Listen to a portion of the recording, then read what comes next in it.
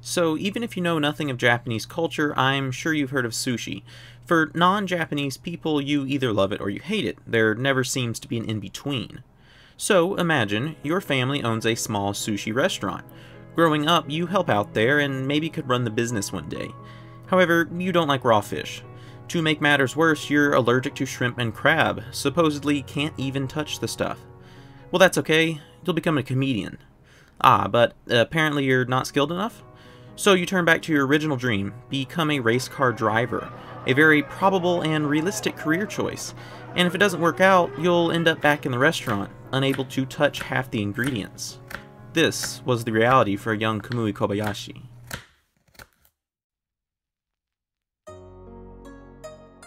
Kamui Kobayashi was born the 13th of September 1986. Oh, and this is a figure of him. Brief aside, but during his career, one of his sponsors has been the Good Smile Company. You may have heard of Good Smile Racing Team, whom participates in Super GT and have even sponsored some cycling.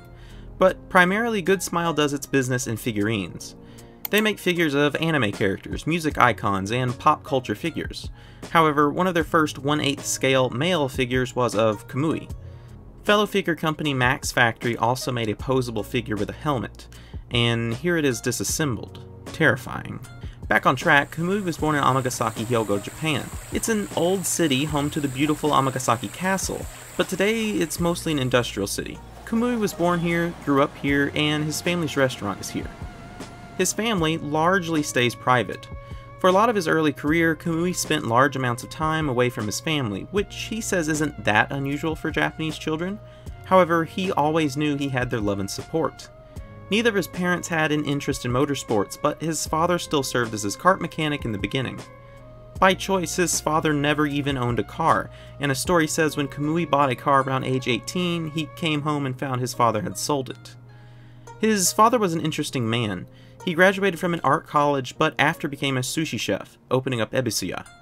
Self-proclaimed, he described himself as an okasafua, which means land surfer essentially someone who dresses with the cool laid-back style of a surfer but doesn't actually surf. Unfortunately, when he passed away in 2021, Kamui spoke of his father saying while there were moments of disagreements, he always knew his father cared and thought about him. His father would often form cheering parties in the community to watch and cheer on his son. Kamui was born the second of his parents' two sons and younger daughter, Harking back to his father's quirkiness, his brother was named Hokuto after the manga Fist of the North Star, and Kamui was named after the series Kamui Den. The kanji his parents used to write his name also have the meaning enabling great dreams. Kamui's great dreams first began as a young child after seeing some NASCAR and Japanese racing series on television, where he wanted to drive the car. His father told him he was far too young, but a few years later, almost age 9, he saw another program showing children younger than him racing go-karts. Again, he told his father, and he was excited when his dad agreed to take him to an indoor kart facility the next day. The young boy enjoyed karting instantly and wanted to do it as much as he could. His family didn't know anything about motorsports, but wanted to support their son. Over the next few years, he would do events close to home with his father acting as his mechanic. At the time, Kamui didn't have anyone he wanted to be like. He didn't know motorsports. He didn't even know Formula One existed yet. He just focused on winning his next race. In his first year, he'd finished third in the 1996 Takarazuka tournament. He mostly raced locally, but would venture farther from home for bigger events, and in the following year he would win the All Japan tournament. It also attracted the attention of the Yamaha kart team, which at age 11 started supplying him with engines. Being a Yamaha team driver meant he was often away from home traveling with the team. In 98, he'd win the Cadet Cup West Championship, 99 the D-Class All Japan Tournament, in 2000, the All Japan Junior Kart and Suzuka Kart Championships. And in 01, he'd be second in the ICA Asia Pacific Kart Series and ICA All Japan Champion. Over this time, Kamui developed his dream of becoming a Formula One driver. However, he still knew how unrealistic that was. His city of Amagasaki had a thriving comedy scene, so he tried to change his dream into becoming a comedian, but decided he wasn't talented enough.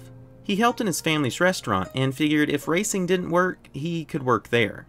Fortunately, his success in karting and association with Yamaha led him to the Toyota Racing School. At age 14, Kamui passed the ESSO Formula Toyota Racing School audition. Toyota was so impressed that they wanted to sign him to a 10-year contract. Honda had also wanted Kamui to attend their racing school at Suzuka. Both Honda and Kamui were happy to do both schools, but Toyota wanted exclusive operational control. At the time, Toyota was more successful in F1, and Kobayashi decided he would probably have more career opportunities with Toyota. However, due to Japanese national law, drivers were unable to participate in car racing below the age of 18. While below age, Kamui finished his 2001 karting and in 2002 did three rounds of the European Karting Championship. With a brand new team and only three rounds, he had already secured a pole.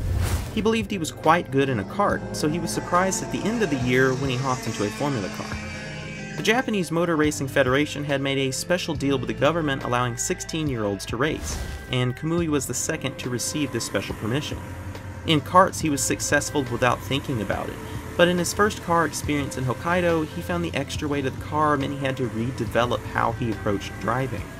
He participated in one of the final rounds of that year's Formula Toyota Series, and in 2003 would compete in full. He would get four poles, five podiums, and two victories he'd be leading the championship into the final race. However, in that race, he'd blow up his engine and finish second to Kazuki Nakajima. When the series ended, Toyota sent some drivers to the European Toyota Racing School in Vicenza, Italy. Kamui says arriving in Europe was a lot of fun. Of course, everything was different, but it was interesting and he was living a dream. He had the opportunity to race in the Formula Renault Italia series, but he needed to learn English. He found it frustrating to be doing well on track, but being held back by language. 20 years ago, English wasn't as widely taught in Japan, so Kamui had to invest hours in study to keep his racing dreams alive.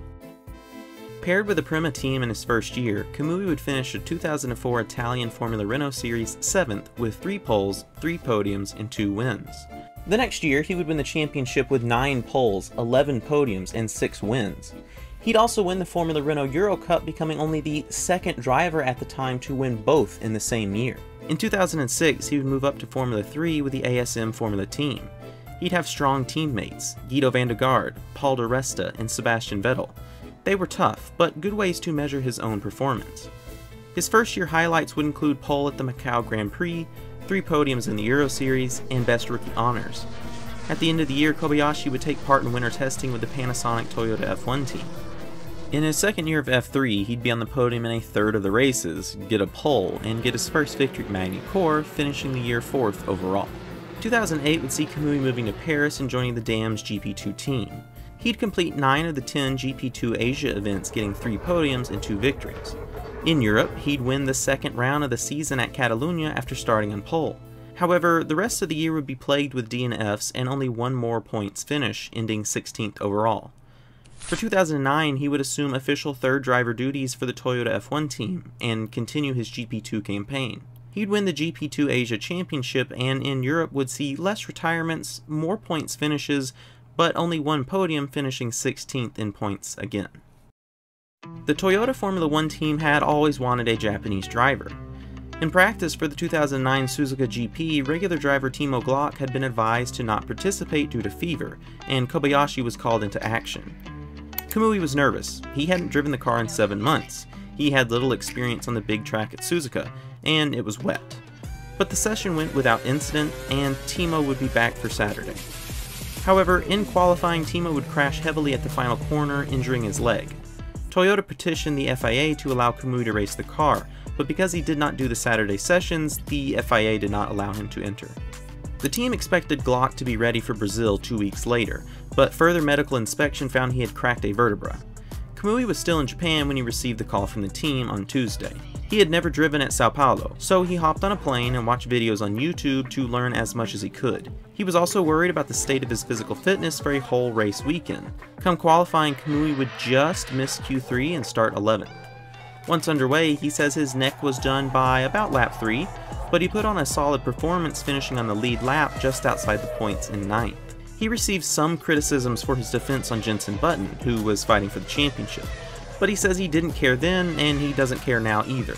He was fighting for a career, Jenson already had one.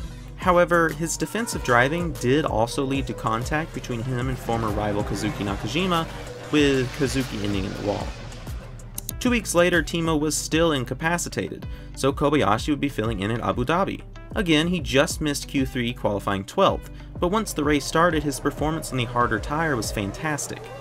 By the end of the first stint, his engineer told him they were fighting for a podium. Kamui remembers jokingly thinking, wow, this is quite easy. However, once he went on the softer tire compound, he began to struggle. Still, he finished ahead of teammate Jarno Trulli, scoring points in 6th. Things were looking positive for Kamui. Heading into 2010, there were rumors that Toyota were leaving F1, but nothing had been officially announced to the team, so Kamui figured, worst case, they would have one more year. In late December, he was called to a meeting at Toyota HQ in Germany. He figured it was announcing him as a driver, so he was shocked when they revealed they would be ending their participation in F1. Kamui knows the technology the team had planned for 2010, one of the strongest engines, improved aero, blown diffuser, better air ducts, the list goes on. Looking back on it, he believes they could have won, but pulling out saved a lot of money, so it was probably the right choice. Shocked, Kobayashi returned to Paris. He had no big sponsors. He didn't have the money to return to GP2. He loved Paris, but with no expectations of Formula One, he started packing his bags to go home and work in the sushi restaurant. Within the week, he received a call from Peter Sauber. Due to the global financial crisis, BMW was leaving F1 as well, and Peter was looking to rebuild his team the way he wanted it. He called Kamui to a meeting and immediately signed him to a two-year contract with option for a third. Season 1 started a bit rough, 5 retirements in the first 6 races, but over the year he would score 32 points and have a better average finish than both of his teammates. He also gained a reputation for impressive overtakes, being one of the latest drivers on the brakes. Season 2 started well with Kamui and new teammate Sergio Perez finishing the Australian GP in 8th and 7th, but were then disqualified over rear wing legality. The whole year would be more consistent, only 3 DNFs and 9 points finishes, but only 30 points, ending 12th in driver standings. Kamui would return to Sauber for a third year, and it would be the most competitive of his F1 career. 6th in Australia, 5th in Spain, 4th in Germany, qualified 2nd at Spa, and finally at home in Suzuka would get a podium. Coming into that race, he says there was no extra pressure, because you should always aim to do your best, but he knew if something good happened, it would be special. They're chanting their hero to come out onto the podium and see them.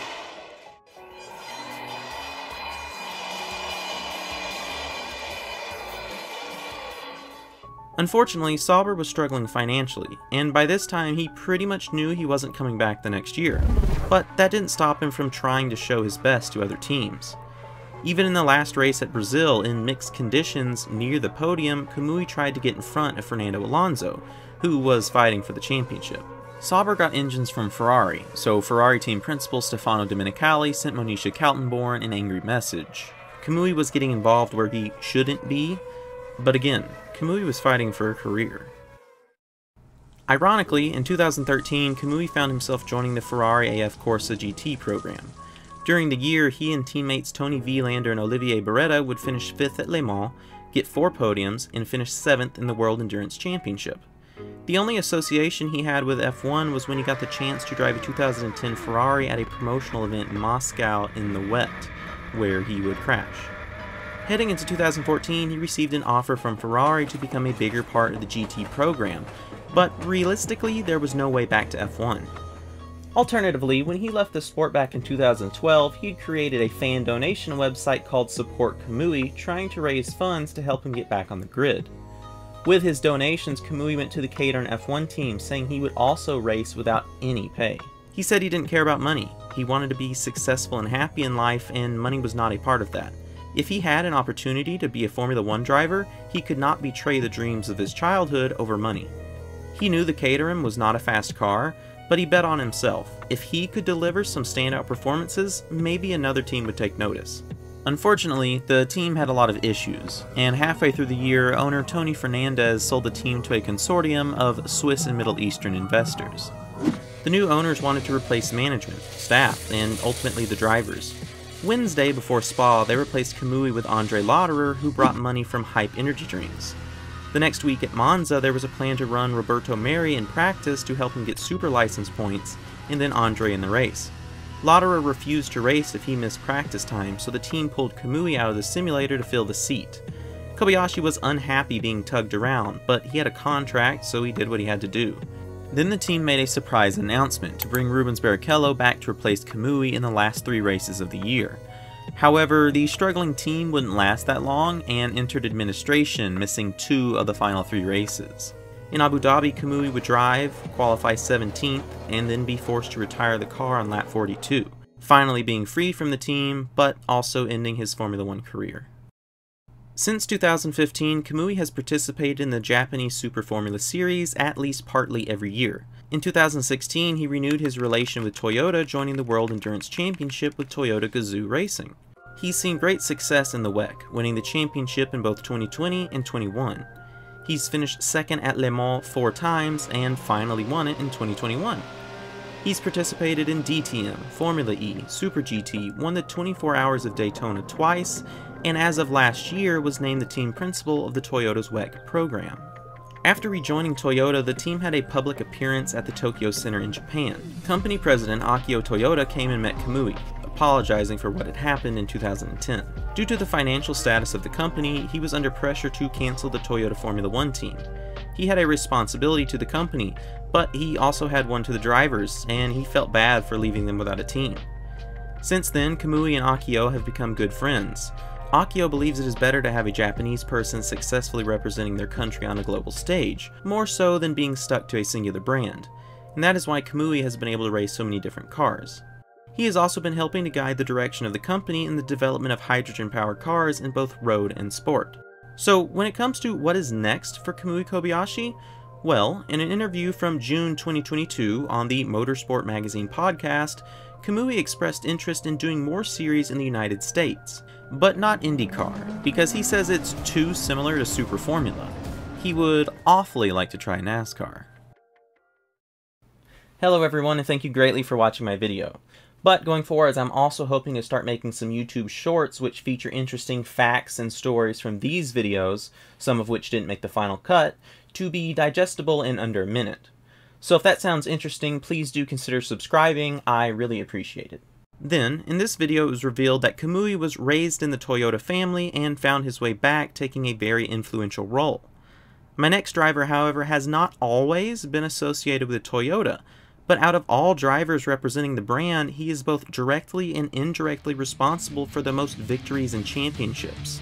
I'd give you the statistics, but I think that would make it too obvious. So, if you have any ideas, let me know, and I'll see you next time on Driver Profiles.